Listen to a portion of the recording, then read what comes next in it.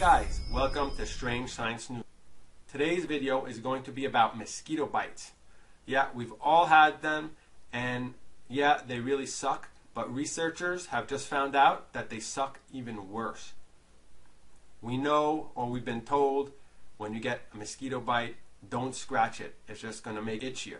Well, what they've just discovered is that if that mosquito was infected with a virus like the Zika virus or the West Nile virus, that scratching the bite area will spread the virus in your body faster. When the mosquito bites you, it causes an inflammatory response. So your body is going to send some white blood cells to kill off viruses and uses the white blood cell to replicate it.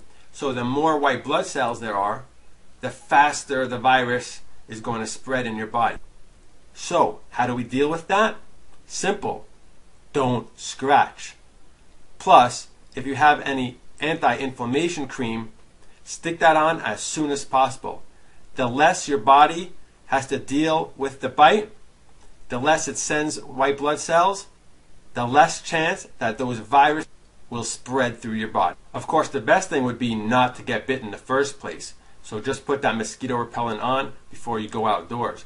If you don't have any repellent, maybe use some of that Victoria's Secret perfume because that seems to work pretty well too. Thank you for watching Strange Science News.